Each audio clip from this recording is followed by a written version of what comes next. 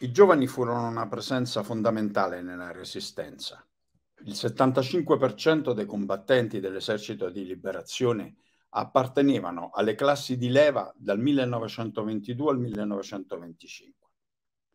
È vero che sono soprattutto i giovani a fare la guerra e nelle zone d'Italia sotto l'occupazione nazista e la sovranità della Repubblica Sociale Italiana sono i giovani che venivano chiamati alla leva obbligatoria con un tasso di renitenza intorno al 40% e di diserzione intorno al 12%, molti di questi giovani devono scappare e nascondersi per non essere catturati dai fascisti e dai nazisti. E in molti casi il rifiuto di combattere la guerra fascista diveniva la scelta della montagna e di unirsi alle bande partigiane. Come ricorda Pavone, la guerra di liberazione fu anche uno scontro fra due generazioni lunghe, che avevano conti specifici da presentare agli anziani.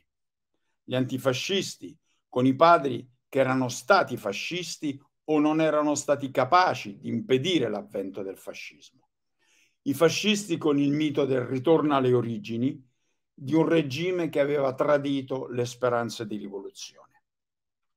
I giovani che combatterono nella Resistenza erano ragazzi nati e vissuti sotto la dittatura fascista, un regime che della retorica giovanilistica si era riempito la bocca al canto di giovinezza.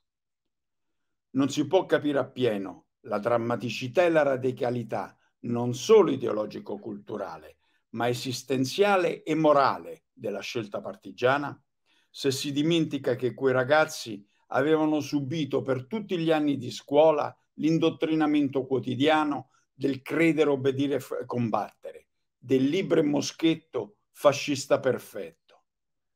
Figli della lupa, Balilla, avanguardisti, giovani fascisti avevano vestito con ingenuo orgoglio le divise fasciste e partecipato alle sfilate, ai raduni, ai campi Dux rifiutando quel regime, quell'indottrinamento, scegliendo la lotta partigiana, quei ragazzi vivevano per la prima volta nella storia dell'Italia unita un'esperienza di disobbedienza di massa.